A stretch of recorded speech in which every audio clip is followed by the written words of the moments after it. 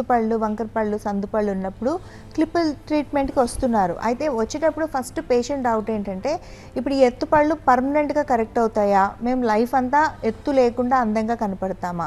వంకర పళ్ళు స్ట్రైట్గా ఒక వరుసలోకి వస్తాయా? సందులు క్లోజ్ అవుతాయా? అయినవి పర్మనెంట్గా ఉంటాయా? దీనివల్ల ఏమైనా పెయిన్ ఉంటుందా? ఇలాంటి క్వశ్చన్స్ నేను రోజు వింటాను. So that is what this is hundred percent పర్మనెంట్గా ఎత్తు తగ్గిపోతాయి. ఎంత ముందుకి వెనక్కి కాంప్లికేటెడ్ ఎగుడు దిగుడులు ఉన్నా అవి వరుసలోకి వచ్చేస్తాయి. సందులు ఉంటే కంప్లీట్గా క్లోజ్ అయ్యి బ్యూటిఫుల్ స్మైల్ అనేది మీకు వస్తుంది.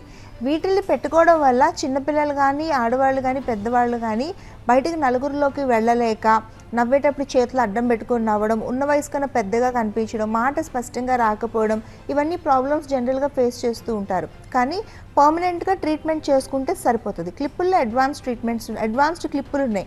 అంటే పంటి రంగులో కలిసిపోయే సిరామిక్ క్లిప్పులు ఉన్నాయి. లేదా మీకు ఇంకొంచెం తొందరగా ట్రీట్మెంట్ ఫాస్ట్ చేయాలి ఎటువంటి డ్యామేజ్ లేకుండా అంటే దానికి సెల్ఫ్ లైగేటింగ్ లాంటి అద్భుతమైన క్లిప్పులు ఇప్పుడు అందుబాటులో ఉన్నాయి.